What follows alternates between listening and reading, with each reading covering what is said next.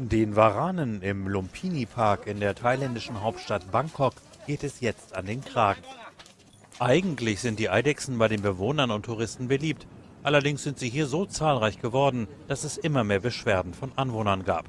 Die Behörden der Stadt fangen die Tiere jetzt nach und nach ein.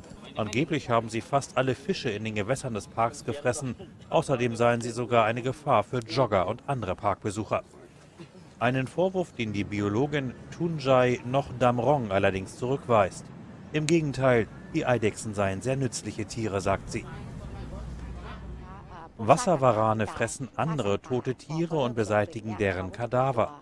Sie fressen auch Ratten. Deshalb räumen sie die Natur auf und helfen dabei, dass Krankheiten sich nicht ausbreiten können.